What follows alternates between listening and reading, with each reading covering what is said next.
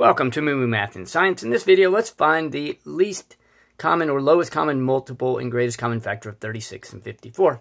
And for some strange reason, I think these are fun. I like to use a factor tree and then a chart, and I'll show you what I do. So let's go ahead and create factor trees. Uh, 36, 2 goes into 18, circle the 2 because it is prime, and now 2 times 9 is 18, circle the 2 because it's prime, and then 3 and 3. So there's the 36, and for 54, we go 227, and then let's try 3, 9, and I'm circling the primes, and 3 and 3. Okay?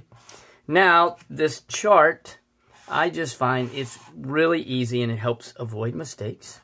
So I'm going to write, um, yes, it's on, I mean, there we go. It's maybe a little better.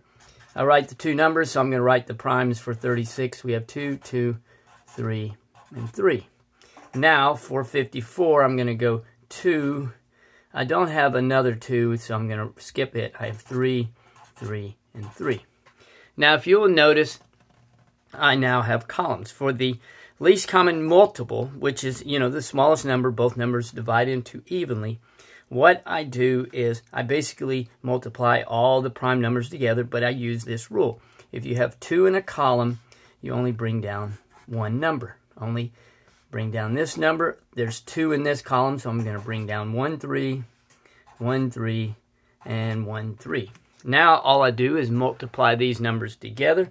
So that gives me 4, 12, 12 times 3 is 36, and then 36 times 3 equals 108.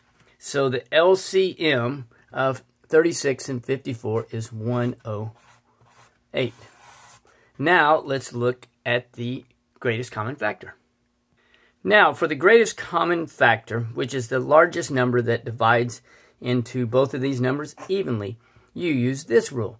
You must have 2 in the column. Since there's two numbers, you must have two numbers in the column. And you only bring those down. So I'll bring down a 2 here. Can't bring this one down. I can bring down a 3 here, a 3 here, and nothing there. And then you just multiply these together. 2 times 3 is 6. 6 times 3 is 18.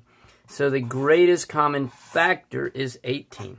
So in summary, the LCM equals 108 and the GCF equals 18. Thanks for watching, and Moo Math uploads a new math and science video every day. Please subscribe and share.